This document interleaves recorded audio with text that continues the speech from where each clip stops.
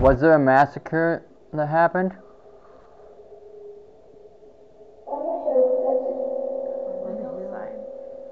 Oh wow.